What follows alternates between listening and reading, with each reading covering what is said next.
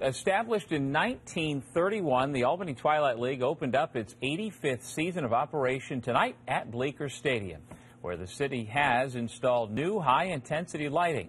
This is the nation's oldest continuous amateur baseball league.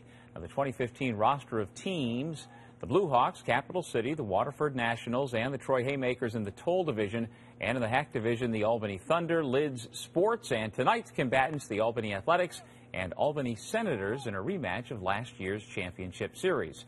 And it was the A's who picked up the opening night victory at Edsel Walker Field. Also, Waterford beat Cap City tonight 4-2.